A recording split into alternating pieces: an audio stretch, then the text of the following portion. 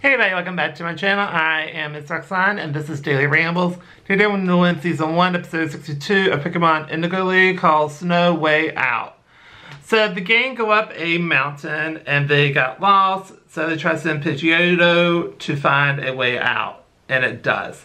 Then T-Rocket is following as well, and they're kind of being pissy about it, especially James and Meowth, but Jessie loves the snow. And basically, she has dirt poor flashback memories where, I don't know um, hang on a second. Let's see here. Mm -hmm. Okay. Um, let's see here. So basically, the of the memories, I'm trying to figure out if it was in this episode or another one. I'm trying to see if, if they provide it throughout the rest of the episode. Anyway, it doesn't. So I'll just talk about it. So basically, Jessie's mom and her were very poor. And they only had like soy sauce or like just sauce in general. And basically, um, they made snow like donuts, snow, everything like to pass as food. So, um, and so she knows how to survive in like bad conditions because she's done it before when she was younger. Then we cut to where um, the balloon left Team Rocket and it started to snow and uh, it's starting to storm now. So Ash is being super stubborn.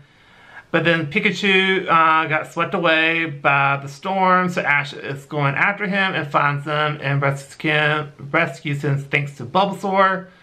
And so they decide to make a snow cave with Charmander to seal off the cave. Then Charmander provides warmth. Then T-Rocket does igloo. Id, igloo. Oh my god, I can't say that word. igloo. Then Jessie makes them stay awake because they're starting to fall asleep. And then Charmander is starting to get tired. But the Pokemon don't want to get back on the ball. And Pikachu absolutely refuses. Ash forces the other Pokemon into the ball, but they pop back out. And to stay, they could keep Ash warm. It was a very touching moment, like super freaking touching. Oh my god.